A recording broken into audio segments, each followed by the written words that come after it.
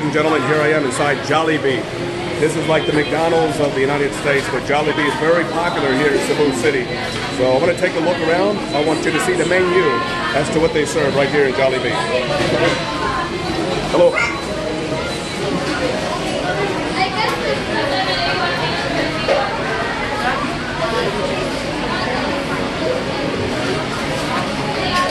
Take a look at the menu.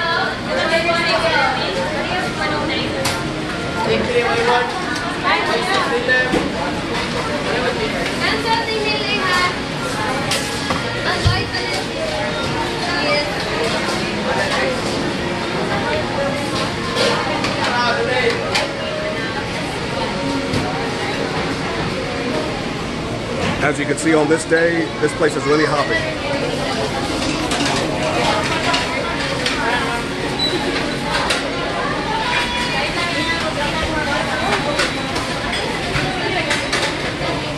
And now as I step outside, I want to show you the Jolly Bee, the bee himself.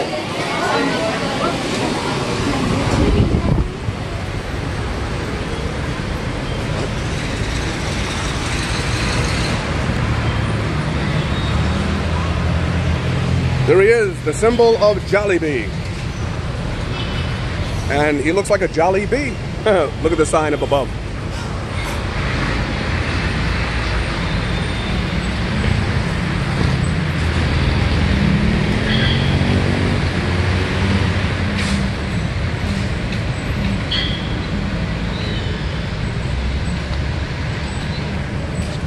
There you have it, ladies and gentlemen. If you're ever hungry, and if you're in Cebu City, they also have Jollibee, by the way, in Jersey City, and they have one in Queens, New York. So Jollibee is uh, a very popular place. Maybe not as popular as McDonald's, but you got them quite everywhere here in this area in Cebu City, which is named the Pearl of the Orient. So I'm gonna sign out now. A lot of people looking at me, so okay. Carl Sylvester signing out. It's five minutes to 12 noon. It's Monday, the 11th of December, 2017, and it's which is like 10 minutes uh, to 10 o'clock. I'm trying to convert them. I'm 13 hours ahead of New Jersey. Uh, it's almost 11 o'clock in New Jersey. 11 o'clock Sunday night. So I'm taking a look around and then I'm cutting it off. Take a look.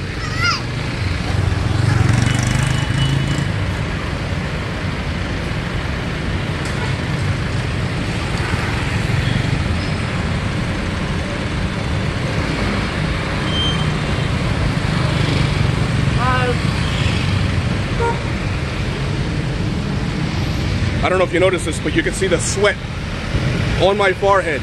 It's really hot and sticky here. It's probably about 85, maybe 90 degrees, but uh, it's humid and it's sticky, so take it easy.